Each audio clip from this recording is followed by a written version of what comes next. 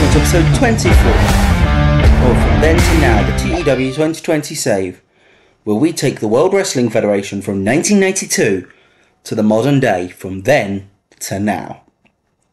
And in this episode, we have got Saturday night's main event 31. As Elton John would say, which would be used for a song, song for a wrestling, sh- for a wrestling show theme song 30 years later. Saturday night's alright for fighting. I'm looking forward to this show. If you're looking forward to this too, make sure you hit that thumbs up button. It's a pay per view. It's a big event on ESPN. Let's try and let's try and break our light record. I don't can't even remember what that is, but let's see if we can do it without a target. Get. I'm excited. I hope you guys are too. If we look at the screen, we can see the previous Saturday night's main event. You can also see I managed to fix the pick pack. Yeah, so the actual three story, three matches on the main card were John Nord versus Max Moon, Hogan and Warrior versus Flair and Luger, and Bret Hart versus Dr. Death Steve Williams for the IC title. Ironically, a lot of those same people are on this card.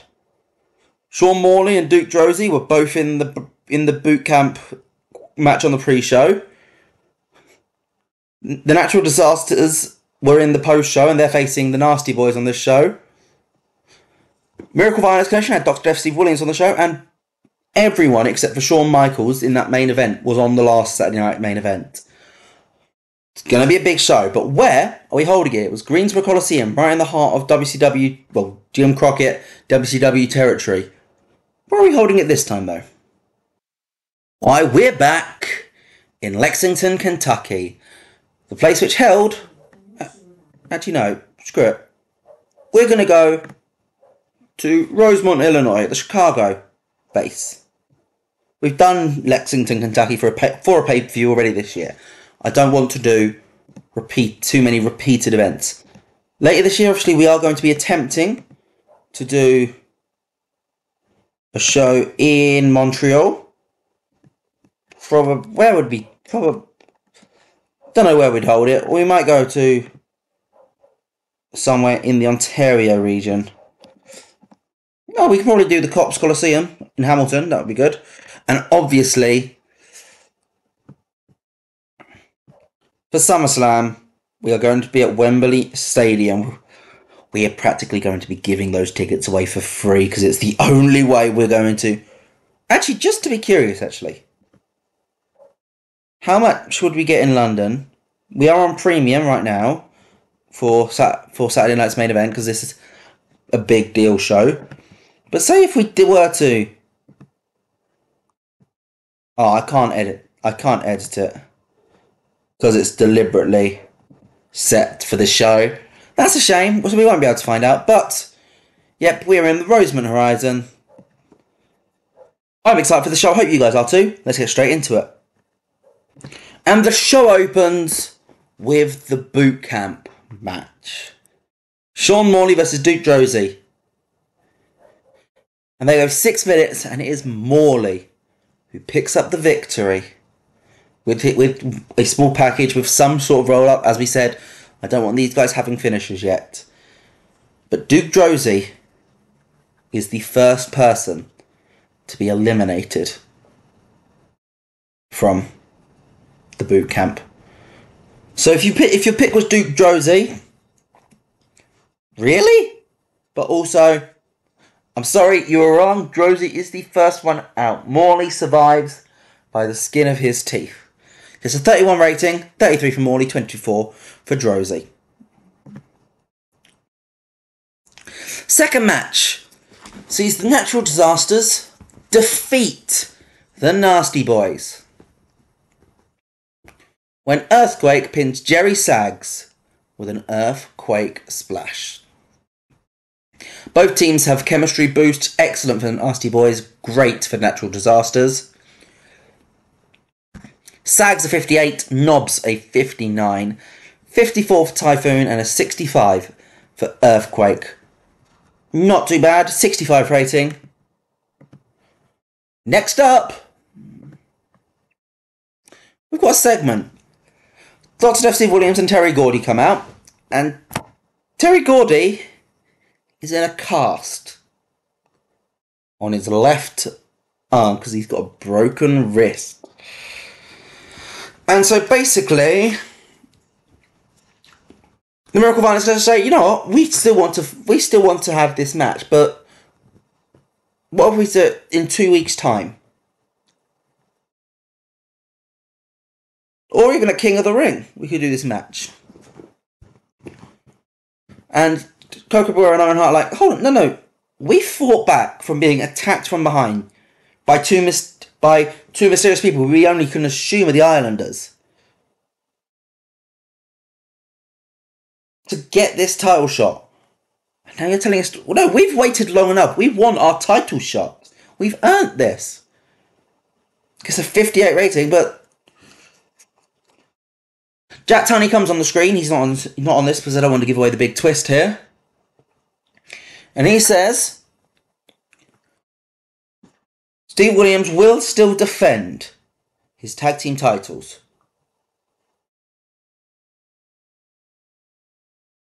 With an open challenge partner. Anybody from the locker room can come and challenge and team up with Dr. Death. They will not become the tag team champions should they win. But we aren't going we aren't going to leave them with nothing.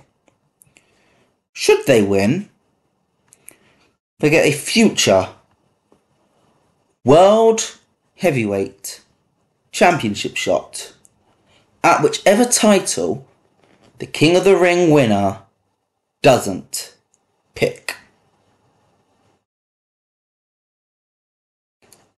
So either the the Intercontinental or the World Heavyweight title, whichever title the King of the Ring contender goes to, that's set for SummerSlam.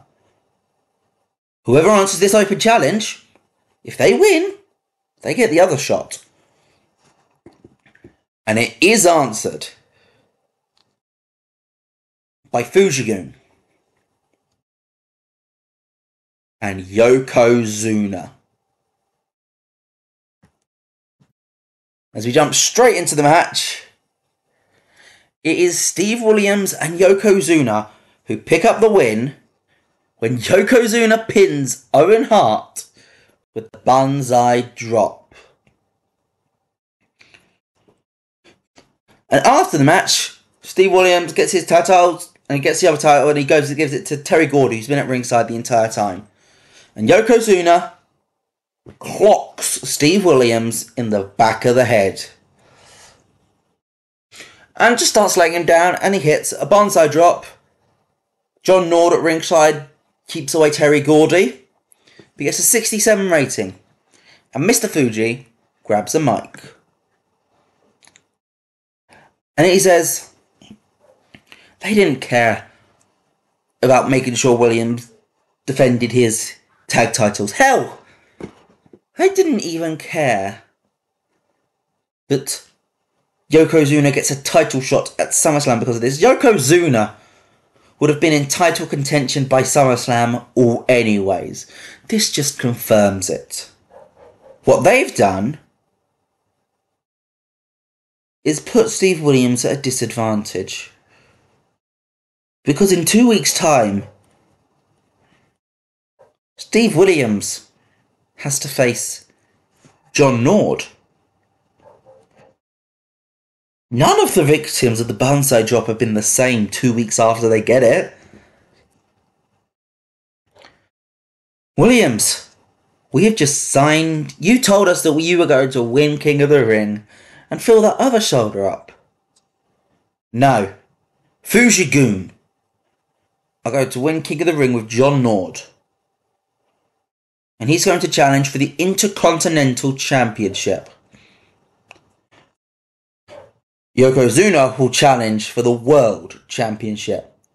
And we will leave SummerSlam with all of the titles around the waist of Fujigun.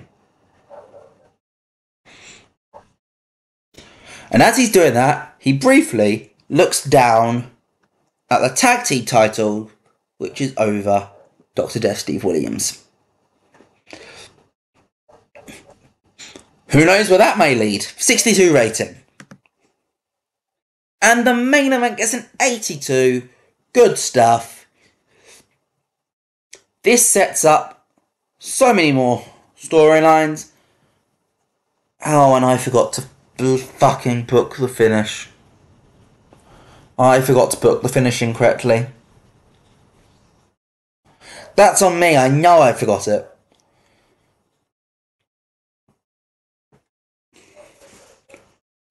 The Horsemen pick up the victory. That is correct. Shawn Michaels pins Bret Hart. That is correct.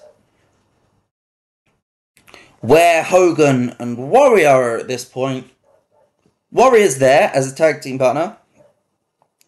Hogan at this point has been taken out by The Undertaker.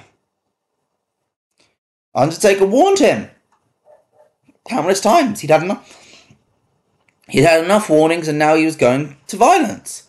We knew this. The Undertaker said it on Superstars, which I recorded an hour before this episode, you know, behind the curtain. I only recorded that Superstars, what, what time is it?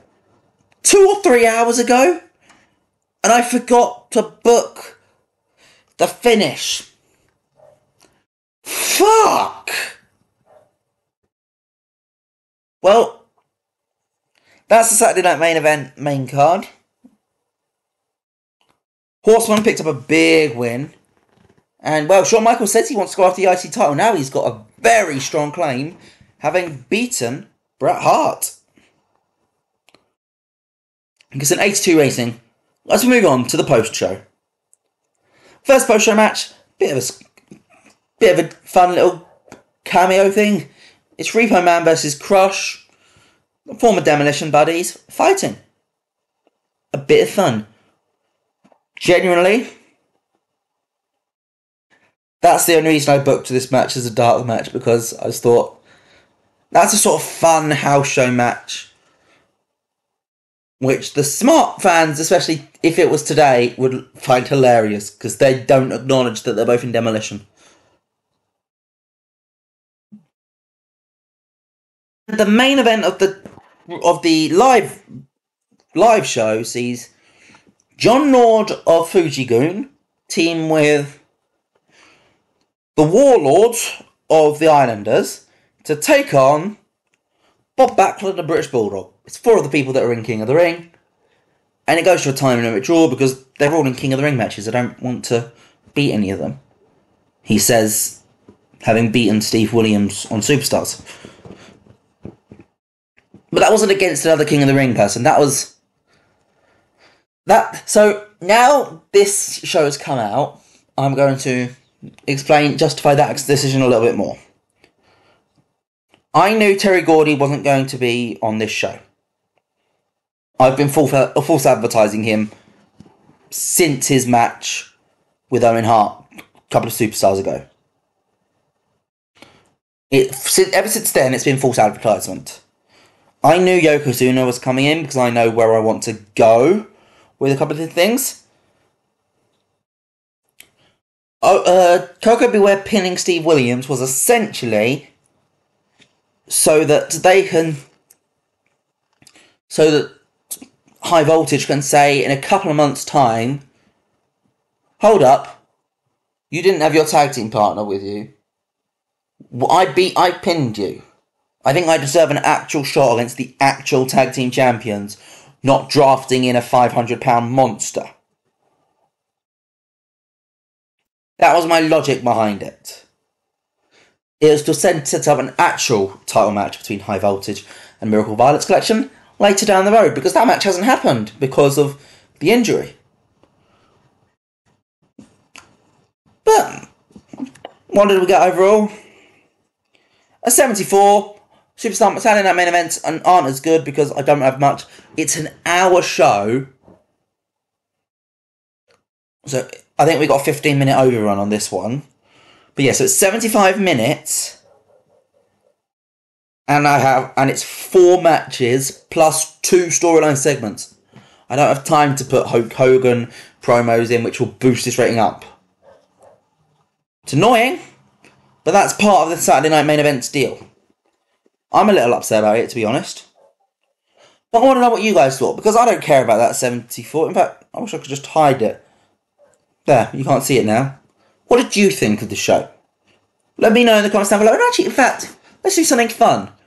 You know how TEW rates things, it's 0 to 100.